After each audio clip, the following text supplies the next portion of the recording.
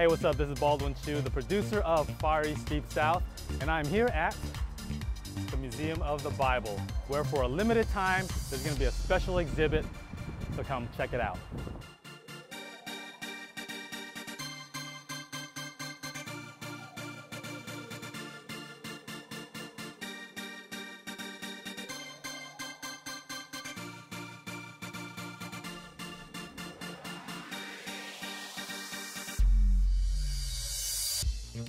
We are at the Impact of the Bible in America exhibit here at the Museum of the Bible, where inside you will find the history of the Bible in America, going from Columbus all the way to Frederick Douglass, and including where you will find KC Lou's Chinese Bible from Mississippi from our film Far East Deep South.